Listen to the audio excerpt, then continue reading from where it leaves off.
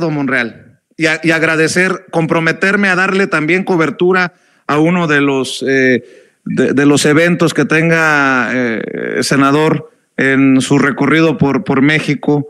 Eh, parte de la imparcialidad, a veces se nos complica por los, los pocos fierros que tenemos, pero con mucha, con mucho gusto apostándole a la unidad rumbo a, a las encuestas. Eh, eh, déjeme cerrar preguntándole, ¿en qué basa su recorrido? Algunos, eh, algunas personas las he leído, se está colgando del presidente, no tiene nada que aportar, presentar. ¿Qué puede esperar la gente que, que lo ha escuchado, que va a ir a tal o cual comunidad? ¿A qué le está apostando Ricardo Monreal en sus recorridos rumbo a la encuesta? No, fíjate que al contrario, yo creo que soy el aspirante a este puesto interno que menos se cuelga del presidente.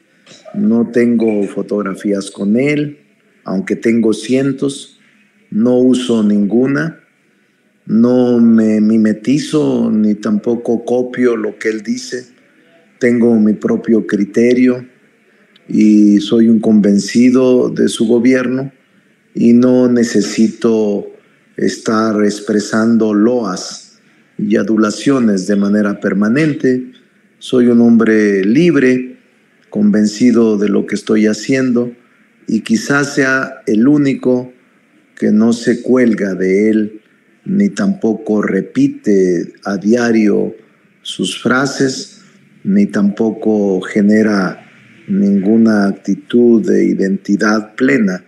No, expreso mis ideas, defiendo la cuarta transformación y hasta ahora, Vicente,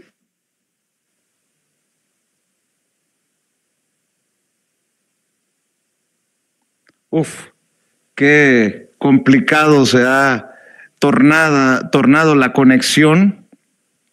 Muy difícil eh, la conexión. Pero, hasta ahora, Vicente, te quedaste, Ricardo.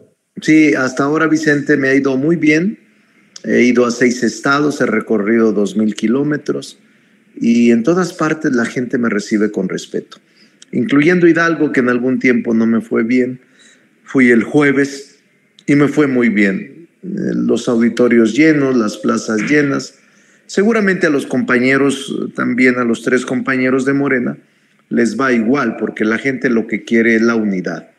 El morenista de a pie, el morenista de convicción, los fundadores y los militantes de convicción, lo que queremos es que haya unidad y que el legado del presidente de la República se siga perfeccionando y se sigan manteniendo las políticas públicas que implementó.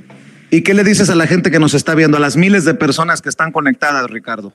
Que confíen, que actúen con total independencia, autonomía, que deseo que salga muy bien el proceso, que si les toca eh, la interrogante de la encuesta, la contesten en razón de su conciencia, de su libertad y que todo va a salir bien. Nos va a unir este proceso y vamos a lograr que la cohesión nos saque adelante como proyecto de nación para poder continuar la transformación.